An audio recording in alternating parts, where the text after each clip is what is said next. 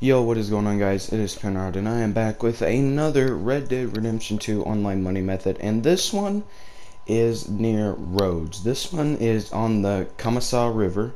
What you're first going to want to do is go into Rhodes or any local place and just get another person's horse.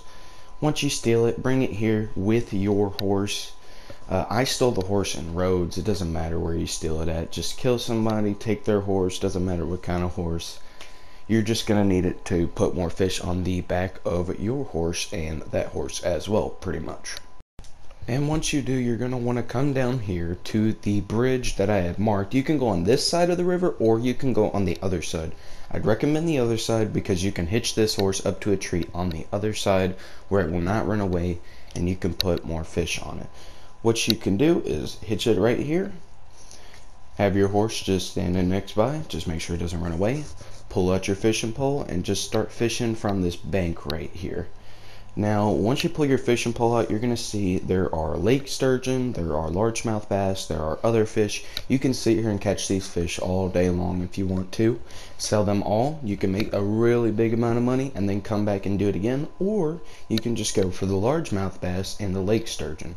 I know I had another spot just on the other side to the left that also had a hitch tree spot, but this one I feel like is so much better than that last spot. More fish spawn here. The lake sturgeon spawn over and over again. The largemouth bass do.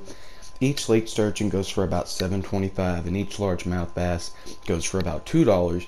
So the more of those you get, the more money you're going to get overall. It's a very good process in my opinion.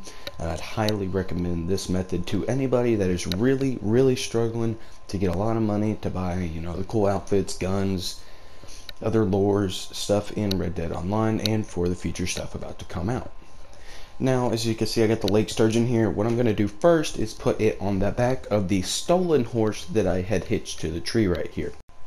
Just go ahead and put the fish on the back of that horse, and then once you do, you're going to want to get on that horse and take it to Rhodes, the butcher in Rhodes. Ride the stolen horse, call for your horse as you are going to the butcher, because if not, the horse that you stolen will not follow you. When you get to the butcher, take the lake sturgeon off the back of the horse you stole and bring it over to the butcher. Have your horse nearby. Once you do this, you'll see that you can sell both lake sturgeon. You can sell all the largemouth bass you want, but the main purpose of this is to make it to where you can carry more lake sturgeon and make a lot more money faster. If you enjoyed this video, please leave a like, comment, and subscribe down below. And I will catch you guys in the next money method or glitch for Red Dead Online. Peace.